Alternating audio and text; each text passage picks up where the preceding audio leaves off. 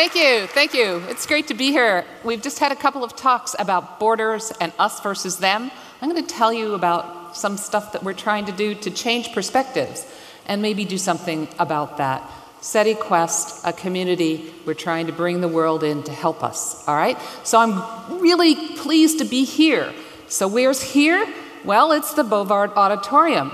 But as the news from the tragedies in Japan and the revolutions in the Mideast and uh, the realities of climate change are reminding us we're also here.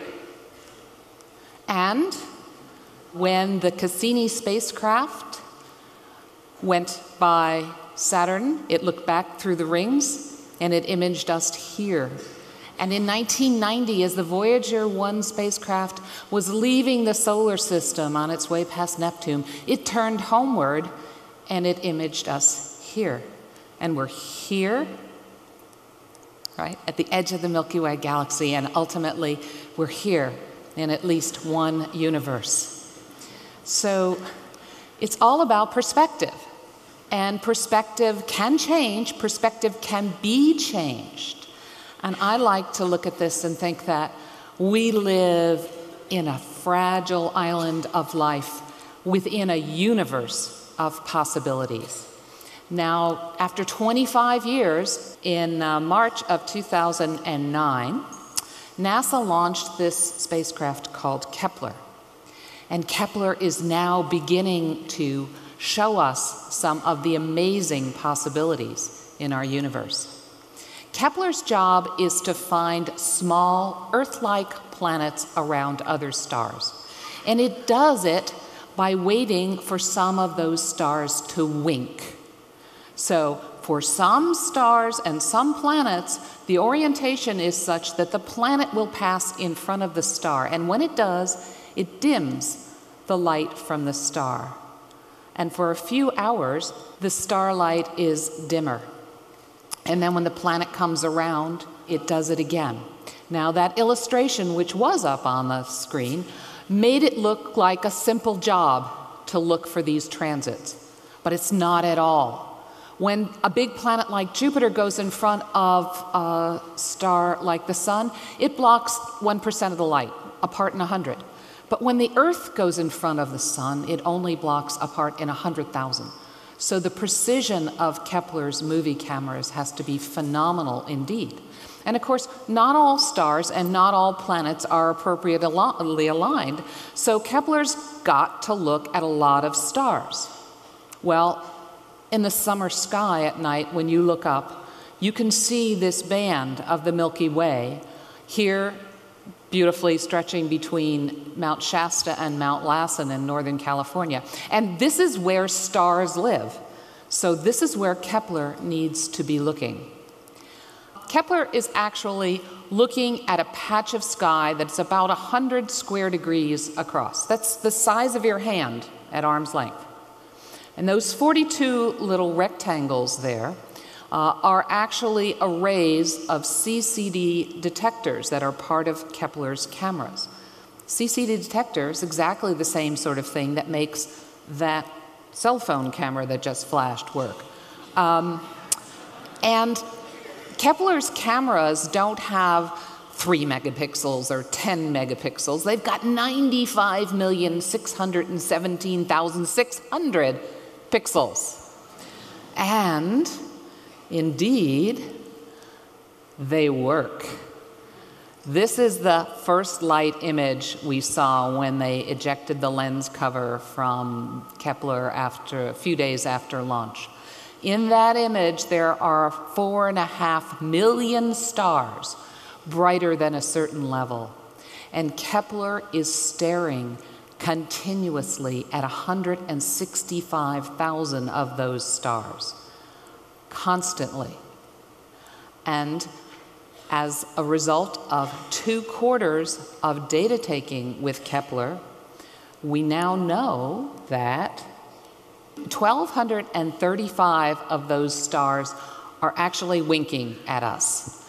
This is a diagram that shows the location of 1,235 exoplanet candidates that Kepler announced on the 1st of February. And they're color coded by the size of the planet. Actually, I have a cheat sheet here. There are 184 that are as big or bigger than Jupiter. 662 are about the size of Neptune. 288 are a size of planet that we actually don't have in our own solar system. We call them super Earths. They're a bit bigger than Earth, and actually 68 are about the same size as our own planet. I'm really jazzed by this.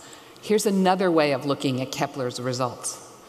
This is the image of the shadows of those 1,235 planets projected onto the disk of their stars. And the, the relative size of the disk shows you how big the star is. The relative size of the shadow shows you how big the planet is. And for comparison, here's us.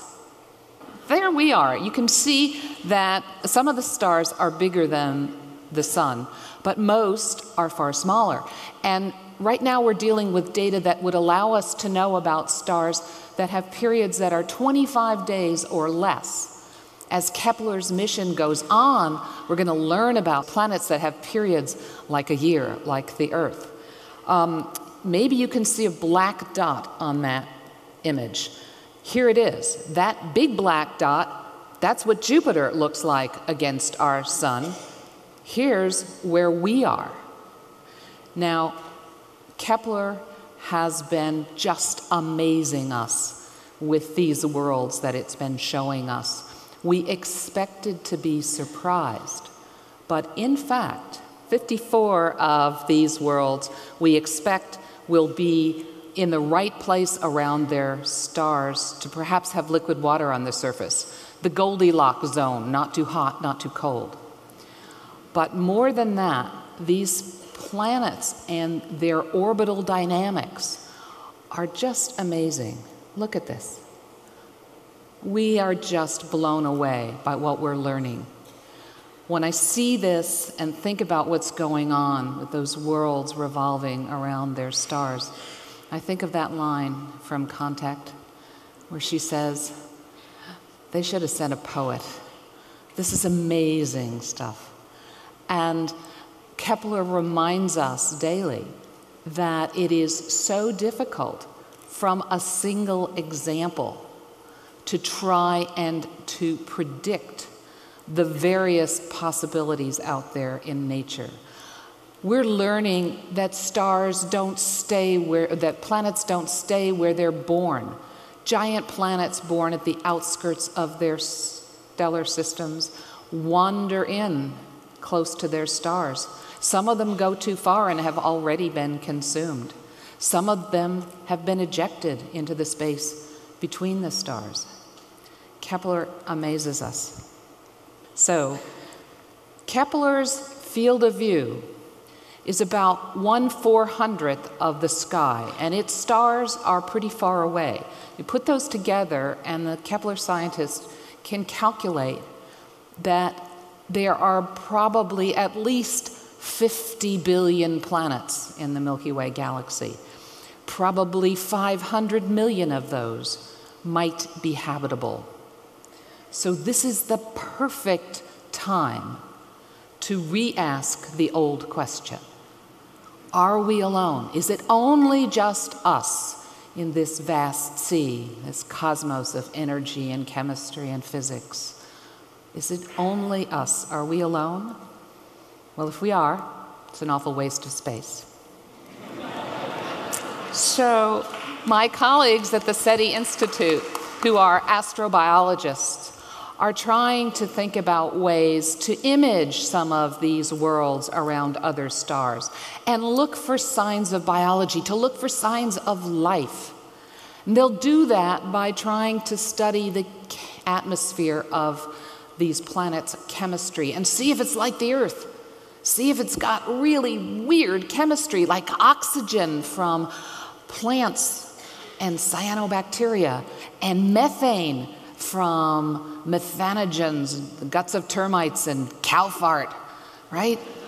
We want to see if there are some biosignatures on the world, those worlds. But it's going to take new spacecraft and at least a decade to get there, to look for these biosignatures. But what if on those worlds there aren't just microbes? What if they're mathematicians? What if they're engineers? What if we, in fact, could use the technology of the 21st century to scientifically explore, to see if we can find evidence of someone else's technology? That's what SETI, the search for extraterrestrial intelligence, is all about. We're looking for technosignatures. Now, our technology is visible over interstellar distances, so it's not unreasonable to, to think that theirs might be as well. A vast communications network, some sort of shield against asteroidal impacts, something totally unknowable and unforeseeable that might give out signals either at optical or radio wavelengths that, that a determined program of searching might uncover. We might be able to find them. What's going to be the key to success in that search? The key to success is longevity. The whether two technologies can discover one another is going to depend on the mean distance between technologies in our galaxy. Now, that's a distance over space and a distance through time. So, longevity is going to be the key. Unless technologies survive for a long time, there will never be two that are close enough together to detect one another. Phil Morrison said this in a very powerful way. He said, SETI is the archaeology of the future. Because of the finite speed of light, any information we get will be telling us about their past. But if we detect a signal, it will tell us that it's possible for us to have a long future. It will answer that question. We are a young technology in a very old galaxy. We don't know whether technologists and technology can persist for a long time. But the detection of a signal answers that question. So we've been doing SETI for 50 years, um, since the first radio search by Frank Drake in 1960. But if you use the Earth's oceans as an analog, the amount of searching we've done is equivalent to taking one glass out of the cosmic ocean and exploring that. We actually haven't begun to search. But the technologies of the 21st century are allowing us to build better tools, better glasses, bigger glasses, ones that we can scoop up faster. And so, even though there's a daunting task ahead, our tools may be up to the job. This telescope is called the Allen Telescope Array. It's the first phase of a larger array that was funded by Paul Allen. And it is the first time we've ever built a large radio telescope by building a large number of small telescopes, hooking them together with computers, and making silicon as important as aluminum and steel. The SETI signal detection software on that telescope in real time looks for patterns in noise that can be made by technologies, but as far as we know, can't be made by nature. So, what you're looking at here is the carrier signal from the Voyager 1 spacecraft, which is now on the brink of the interstellar medium. It's leaving our planetary system. It is the most distant human object, it's traveled farther than any other object. And so its signal is getting weaker. Perhaps you can see it in this plot, but our computers find it very easily because we tell them what to look for. And so we have good algorithms for finding this kind of artifact. But we now have better computing capabilities, and we wonder what other kinds of signals might we look for. What if we're looking for the wrong thing? What else might be there? Um, so we are trying to build a new project. And it's the reason that I asked the TED community in 2009 to empower Earthlings everywhere to become active participants in the ultimate search for cosmic company because I wanted to change the world. Now, this wish might not be it might not be obvious to you how this could change the world, but I think it can.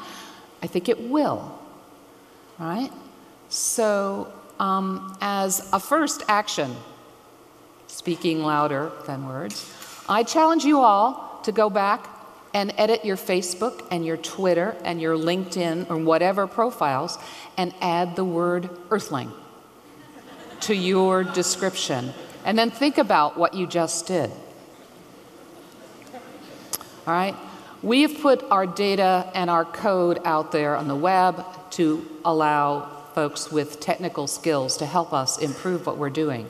But we're also building a citizen science project to capture the passion of the crowd and their pattern recognition skills. Uh, we want them as volunteers to work alongside us in real time to look through the data to find patterns for which we yet have no algorithms, to look through parts of the data that are so full of signals that it confounds our detectors. We want them to help us discover a signal from an extraterrestrial technology. And we want to change their perspective and particularly the perspective of the next generation. Because after all, these are the key to our longevity. And so we have a nice uh, beta application on mobile Android devices. And uh, if I hadn't left my charger in Oxford, England, I would be showing it to you here on the stage. But you can go online. So, action number two sign up to beta test the SETI Quest Explorer and help us understand how, how to help people find signals that our machines miss. We're really excited about the Kepler worlds, about this application, about where we are. Um, we have, for the first time, we know where to point our telescopes.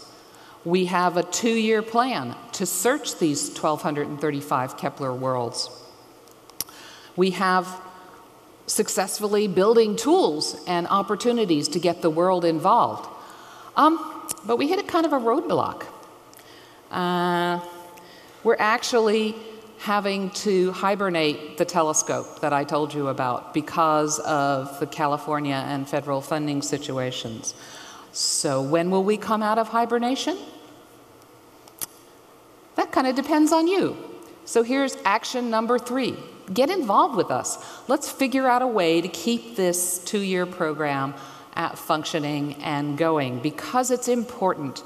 It's important for changing perspectives. We've seen over millennia how when you take a small island of life and you chop it up into smaller islands and tribes, how bad things can get. We want to get people to understand that ultimately we only belong to one tribe to the earth, and we owe it to one another to celebrate the things that are the same about ourselves rather than our differences. So, SETI is a mirror that has the opportunity to show us ourselves from an incredibly different perspective. And in so doing, in involving the world in this search for others, perhaps we can trivialize the differences among ourselves. And if SETI never detects a signal, it could succeed tomorrow or it could never succeed. But even if all it did was to share this perspective with everyone on the planet, it would have been one of the most profound undertakings of humankind. So I encourage you to join us and let's change the world. Thank you. Astronomers get to do the real cool, pretty presentations, don't they? Um, I am just wondering how, over time, have has our conception of what habitable means and what technology or technological means? Because a lot of times we tend to anthropomorphize things, and we want to anthropomorphize things, and we want to imagine that they have two eyes and two legs. How, are, how have things changed? They've changed enormously in many ways. We, we had this um, bias about thinking of the ascent of man or woman, right? Mm-hmm. We're the pinnacle of evolution. That's a viewpoint that nature does not share with us, right? and what we are finding on this planet are forms of life, primarily microbial, that exist in environments that are so inhospitable to us but in fact, this is the world. The world is microbial. Extremophiles are showing us that life can exist in a huge variety of conditions and maybe planets out there that don't look at all like the Earth. Mm-hmm. So, in fact, we have the scientific understanding that says how evolution works how we fit into that larger scale of evolution and how, on a molecular level, we are all the same. Hmm. it's just the brain that isn't yet willing to accept that message, but that's what we're trying to get out there. Great. Thank you so much. That was really interesting. You're welcome.